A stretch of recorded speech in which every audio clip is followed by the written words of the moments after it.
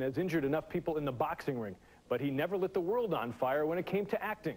Take a look at this old clip we dug up from the archives in which Iron Mike appears in an episode of Webster. This footage from 1987 shows a 20-year-old Mike Tyson doing some routine training, but this isn't a training video. I'm Webster Long. Mr. Tyson? No, Mike. Thanks, Mike.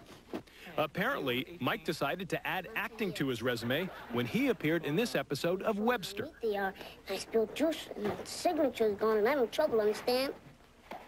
Sure. But how did you do all that in just one breath? I don't smoke. Unfortunately for Mr. Tyson, he gets mixed up in all sorts of family antics. Long story. I think we'll wait for the movie, okay? No, no, no. Let her tell it. She could do it all in one breath.